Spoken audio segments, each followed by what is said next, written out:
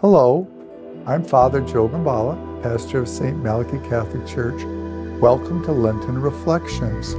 Today is Wednesday of the second week of Lent. The passage I've chosen today is from the Gospel of St. Matthew, chapter 5, verses 21 to 24. You have heard that people were told in the past, do not commit murder. Anyone who does will be brought to trial.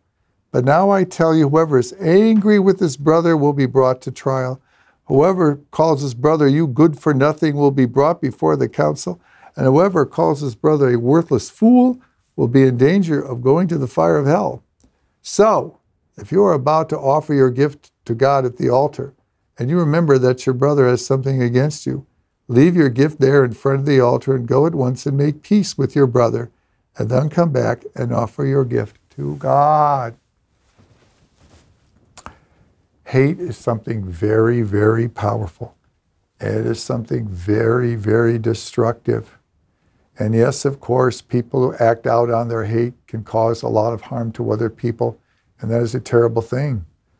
But it is equally true that hate destroys the person doing the hating. It cripples that person, warps that person, distorts that person. When we ever come up to the edge of hating anyone, Pray for that person. Pray for that person because you may dislike that person, you may disagree with that person, you may want that person to apologize or change that way of life. But if you pray for someone, you can never fall into hate.